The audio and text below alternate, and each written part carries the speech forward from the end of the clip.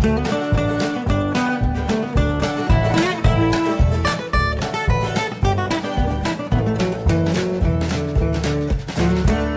und herzlich willkommen zu Jörn Schars feinem Podcast Episode 448. Ich bin Jörn Schaar und ihr seid es nicht. Ich musste mich äh, hart zusammenreißen, nicht gestern K-Samstag schon eine Episode aufzunehmen, weil ich irgendwie so das Gefühl hatte, das ist mein zweiter freier Tag in Folge, dann muss ja Sonntag sein. Also Ostern macht mich regelmäßig komplett fertig. So, aber heute ist tatsächlich Sonntag. Ich habe mehrfach nachgeguckt. Ich habe die Uhren einander vorgestellt, denn heute ist ja Sommerzeit und ich dachte, die kannten sich schon, aber das macht man scheinbar so einmal im Jahr. Und jetzt warte ich, dass unsere ganzen Gäste wach werden, damit wir dann gemeinsam frühstücken können. Und ich dachte, ich nutze die Zeit sinnvoll und äh, nehme schon mal die Folge auf. Diese Woche ging es auf der Arbeit um Folgeeffekte von der Northvolt-Ansiedlung. Ich habe hier schon mehrfach über Northvolt gesprochen.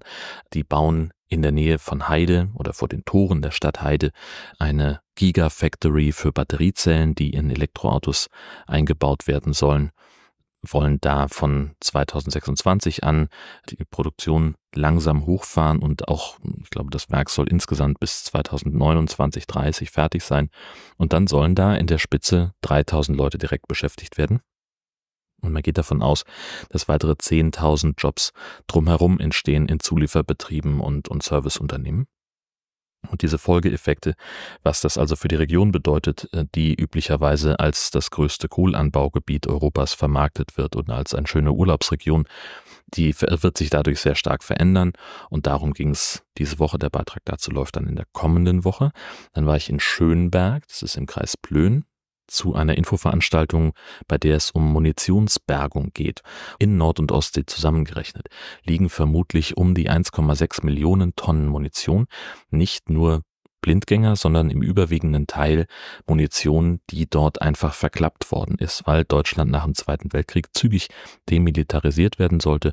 Und da haben sich die Alliierten entschieden, haben gesagt, weißt du was, wir kippen das einfach hier ins Wasser, dann passiert schon nichts. Den war wohl klar schon vor 80 Jahren, dass äh, das keine gute Idee ist, was so Umweltfragen angeht. Aber sie haben sich nicht drum gekümmert, weil sie die Kapazitäten nicht hatten, das Geld für die Entsorgung fehlte und sie auch einfach andere Prioritäten hatte. Das musste halt einfach schnell weg. Und jetzt haben wir halt immer noch das Problem, weil in den Jahren danach, in den Jahrzehnten, hat sich auch niemand wirklich zuständig gefühlt. Ja, und jetzt muss das Zeug halt langsam raus, weil die ganze Munition verrostet, durchrostet. Es gibt auch Bilder von bereits durchgerosteten Munitionsteilen, Bomben, Minen, Granaten, alles Mögliche ist da dabei. Es wird auch immer wieder was angeschwemmt. Weißer Phosphor an bestimmten Ostseeabschnitten wird regelmäßig für Bernstein gehalten. Leute stecken sich das in die Hosentasche und wenn das Zeug abtrocknet, dann entzündet es sich selber und kann auch nicht mehr gelöscht werden. Also das brennt sogar unter Wasser, Temperaturen um 1000 Grad Deswegen sollte man an der Ostsee, wenn man da Bernstein sucht oder findet, den nicht in die Hosentasche stecken, sondern in einen Eimer oder eine Dose, die man im Zweifelsfall wegschmeißen kann. Also von sich wegwerfen kann, damit man sich nicht verletzt damit. So, und um diese ganze Geschichte, das Zeug muss alles raus. Da gab es eine Informationsveranstaltung des Umweltministeriums und verschiedene andere Institutionen, denn die Bundesregierung hat eine Vernichtungsplattform in Auftrag gegeben oder ist dabei, das zu tun. Die Ausschreibung läuft gerade, wo dann Munition aus dem Meer geborgen und direkt auf dieser Plattform entsorgt werden soll. Weil es nämlich eigentlich nur eine Möglichkeit gibt, bundesweit für die Entsorgung von Blindgängern und alter Munition. Die ist in Munster. Das ist eine spezielle Anlage, die aber auf Jahre hinaus ausgebucht ist einfach um einerseits Kapazitäten zu erhöhen, andererseits Transportwege zu verkürzen, soll es jetzt diese Bergungs- und Vernichtungsplattform geben. Prototyp wird wahrscheinlich so ab 2030 fertig sein. Vorher gibt's noch einige, so ein Pilotprojekt für verschiedene Bergungstechniken in der Lübecker Bucht, das ab Sommer anfängt. Darüber habe ich was gemacht und wahrscheinlich noch irgendwas anderes, das ich mir nicht notiert habe. Hm, ich habe im Garten endlich mal angefangen, Rosen endlich zurückgeschnitten. Das wurde jetzt höchste Eisenbahn. Wir haben die Beete angefangen umzugraben. Das heißt wir, mein Schwiegervater. Wir haben nämlich als wir bei denen waren, bei meinen Schwiegereltern, äh, davon erzählt, dass wir das jetzt machen wollen. Und er hat äh, ganz begeistert von seiner Gartenkralle erzählt, die er sich irgendwann mal gekauft hat und die er nach seinem Umzug nicht mehr brauchte. die entsprechend nicht mehr hat und kam irgendwann nach Hause und die Herzdame erzählte davon, dass sie ins Wohnzimmer kam äh, am Nachmittag und dass da ein fremder Mann in unserem Garten war, war ihr Vater, der mit einer frisch gekauften Gartenkralle Teile unserer Beete umgegraben hat und dabei diverse Stauden sowie Giersch entdeckt hat. Giersch äh, gilt als Unkraut, weil das Zeug sehr stark wuchert. Ich habe aber gesehen, man kann das auch verarbeiten, zum Beispiel zu Pesto. Und so, es soll gar nicht so schlecht schmecken. Man musste einfach nur gucken, dass, wenn es zu viel wird, man sich dem irgendwie Herr werden muss. Und das ist dann aufwendig, weil das ein Gewächs ist. Wenn da auch nur so ein Wurzelfitzen übrig bleibt, dann wächst das wieder neu, so ähnlich wie Löwenzahn. So, das ähm, kann man aber irgendwie in den Griff kriegen, zum Beispiel durch das Anpflanzen von Kartoffeln, die dem Giersch das Licht wegnehmen und dann stirbt er ab oder irgendwie so, keine Ahnung. Also das ist etwas, das wir beobachten werden. Wichtig ist auch, habe ich gelernt, Giersch nicht in den Biomüll oder auf dem Kompost zu entsorgen, weil er dann weiter wächst und sich da weiter ausbreitet, sondern in den Restmüll zu tun. Das, Soweit sind wir ja aber noch nicht. Und natürlich habe ich endlich den Rasen gemäht. Ob ich jetzt Rasen gemäht oder das Moos besser sichtbar gemacht habe, ist dabei unklar. Ich bin aber sehr froh, dass ich mich am Mittwoch noch für die zweite Hälfte aufgerafft habe. Es ist so, unser Garten ist vergleichsweise groß und wir haben einen akkubetriebenen Rasenmäher gekauft, der zwei Makita-ähnliche Akkus braucht und dann ungefähr, naja, ein bisschen mehr als die Hälfte mit dieser Akkuladung schafft. Wir haben auch noch zwei andere Akkus als Ersatz. Die habe ich äh, aus irgendeiner Eingebung heraus gleich mitgekauft. Das war total schlau. Ich war aber komplett bocklos. und habe dann gesagt, na komm, den Rest mache ich morgen, ist auch nicht mehr viel. Und hatte dann am nächsten Tag auch überhaupt keine Lust. Und dachte, komm, wenn du es jetzt nicht machst, dann machst du es gar nicht, weil klar war, der, der Donnerstag ist ein langer Arbeitstag und das ganze Osterwochenende ist auch irgendwie schon ziemlich voll und dann hätte das hätte mir alles zu lange gedauert und deswegen habe ich das am Mittwoch gemacht. Das, und das war gut, denn Donnerstag hat sie ja relativ konsequent durchgeregnet. Karfreitag war dann die traditionelle Hotdog-Tour nach Dänemark. Seit Jahren äh, treffen wir uns da mit ein paar Menschen aus der aus der Kieler Internetszene. Also früher waren wir halt irgendwie so bei Twitter alle befreundet, dann verlief sich das so mit der Zeit noch lange bevor Twitter blöd wurde. Ähm, aber das ist halt so geblieben, dieses jährliche Treffen an Karfreitag. Früher sind wir immer zu Anis Kiosk gefahren in Süderhaff, aber seit dem Tod der Besitzerin, also der, den, den gibt's immer noch, so der wurde, läuft jetzt halt unter gleichem Namen, aber mit anderem Besitzer. Äh, und da ist halt immer die Hölle los. Also das ist einfach so eine Institution seit Jahrzehnten. Da kommen wirklich ganze Motorradvereine. Ein Jahr waren wir da, da kam ein Reisebus an mit Leuten, die da eine Hotdog-Tour hingemacht haben. Äh, kurz nach dem Tod von, von Annie wurde ein paar hundert Meter weiter ein neuer Imbisswagen aufgemacht. Dessen Besitzer hat musste dann auch aufgeben, weil er einen Unfall hatte, nicht mehr arbeiten konnte. Und dann hat Annis Schwester den Wagen übernommen. Jetzt ist das Bentes Pölser und Eisbar. Und da gehen wir jetzt immer hin, weil es da auch leckere Hotdogs gibt. Und es ist viel weniger los. Ist alles ein bisschen improvisierter insofern, als es auch dort zwei Kassen gibt, wo man aber beides bestellen kann. Es ist halt so ein klassischer Imbisswagen mit üblicherweise drei bis vier Damen vom Grill, die sich dann so ein bisschen über die Hacken laufen, aber äh, man kriegt sein Essen in der Regel deutlich schneller und es ist mindestens genauso gut. Die Aussicht ist, finde ich, sogar ein Tick besser und wie gesagt, es ist nicht so drängelig da.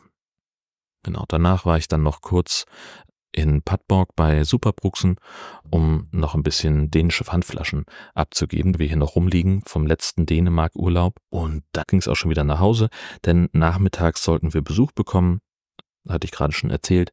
Die sind jetzt auch alle da und wir haben äh, gemeinsam den, die Osternacht gefeiert, den Karfreitagsgottesdienst und waren, das ist halt, Karfreitag, äh, Osternacht ist immer halt super spät.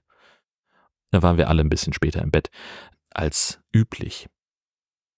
Ich habe äh, diese Woche bei Mastodon einen kleinen, also nennen wir es mal Erfolg erzielt, denn ich habe eine Schlagzeile gelesen über ein Monopoly in der Sylt-Edition, das es jetzt gibt. Also tatsächlich gibt es das jetzt wieder, habe ich gelernt, denn es gab schon mal vor einigen Jahren, war dann aber zügig vergriffen und jetzt hat der Verlag das neu aufgelegt und der hiesige Zeitungsverlag hat da ein paar von verlost und das, diese Überschrift sah ich und habe dann geschrieben, dass es also ein paar kleine Änderungen gäbe.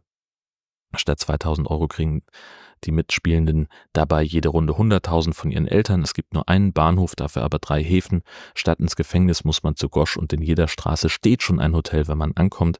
Im Nachgang fiel mir auf, dass ich den ein bisschen besser hätte formulieren sollen, denn natürlich kriegt man bei Monopoly keine 2000, sondern 200 Euro Gehalt pro Runde und das hätte das Ganze natürlich noch ein bisschen schöner gemacht. Ich wollte es jetzt aber nicht nochmal überarbeiten, denn ich hatte da schon irgendwas für bessere Verständlichkeit nachträglich hinzugefügt. Und das hat sehr schön, das ist sehr schön eskaliert, von was die Reichweite angeht. Und es gab dann eben auch Antworten, die das Ganze noch ein bisschen ergänzt haben. Zum Beispiel hat Time to Travel vorgeschlagen, dass es Aktionskarten gibt, wie du hast ausgiebig die Nase über Punks gerümpft und über das verwahrloste Pack geschimpft. Zur Aufmunterung ziehe vor bis vor die nächste Boutique. Fand ich total schön. Auch Fasi hat was beigesteuert, nämlich auch eine Ereigniskarte. Du wurdest vom Landkreis Nordfriesland erwischt, weil du sechs illegale Ferienwohnungen besitzt und vermietest, die nicht angemeldet sind. Dein Anwalt empfiehlt eine großzügige Spende an soziale Einrichtungen des Kreises und kontaktiert den Landrat. Zahle einmalig 50.000 Euro als Spende und lasse dich medienwirksam mit dem Landrat und der Geschäftsführung der Einrichtung ablichten. Das doch wunderbar. Und von Henning kam auch noch die Ereigniskarte, der Autozug kann wegen technischer Probleme nicht fahren. Die Sansibar bekommt deshalb ihre neue Champagnerlieferung nicht. Du musst leider eine Runde nur Cremant trinken. Und das ist ja wirklich die schlimmste Ereigniskarte von allen. Aber das hat mich, mich sehr gefreut. Einerseits, dass mir das eingefallen ist und andererseits, wie wunderbar die Ergänzungen dann aus dem Publikum waren. Fantastisch. Und jetzt müssen wir ein bisschen ernst werden, denn es gibt noch etwas, äh, das ich, das mir sehr am Herzen liegt und das ich hier dringend mal besprechen möchte in Jörn Schaas feinem Podcast. Denn es ist nämlich so, dass Esel und Teddy seit 17 Jahren jetzt podcasten. Das ist äh, total krass. Und statt Blumen oder Karten habe ich gedacht, wir feiern hier ein, eine, ich gebe hier eine kleine Erklärung ab. Ich höre Esel und Teddy seit einer Hörspielrätsel-Episode, ich weiß es nicht mehr. Johannes Wolf ohne Kuh hat dort den Spielleiter gegeben und die beiden mussten Rätsel lösen und es waren ganz viele Podcastende zu Gast, die da im Stil von Puerto Partida was beigesteuert haben. Und es war eine fantastische Folge, über die ich mich damals sehr gefreut habe und ich bin dabei geblieben und höre seitdem. Ich weiß nicht mehr, ich komme nicht mehr auf den Titel, ich überlege schon seit Wochen Rückkehr nach irgendwas. Also sie haben das offensichtlich schon mal gemacht und Johannes trat da auf als äh, unter dem Namen Holger die Waldfee.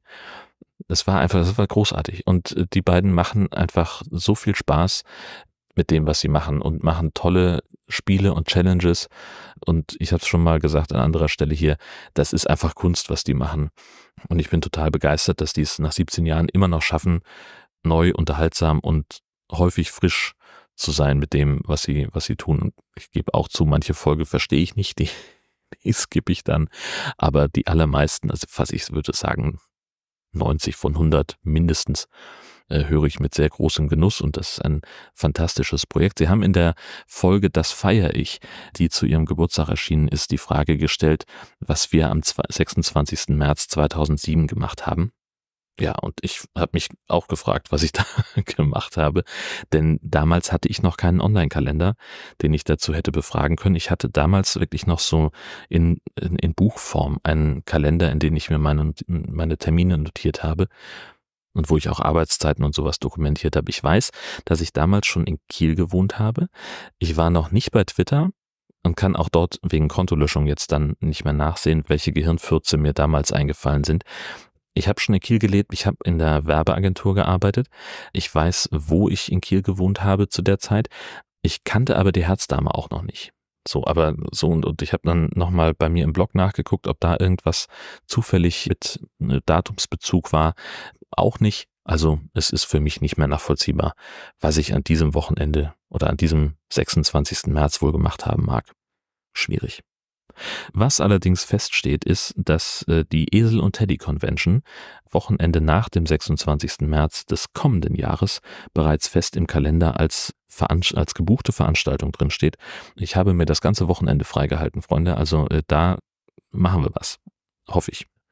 Abgesehen davon bin ich der Meinung, dass alle, die sich nicht aktiv gegen das Erstarken des Rechtsextremismus in Deutschland einsetzen, von ihren politischen Ämtern zurücktreten sollten. Bis sie das tun oder bis eine weitere Folge erscheint von Jörn Schaas für einen Podcast, alles Gute.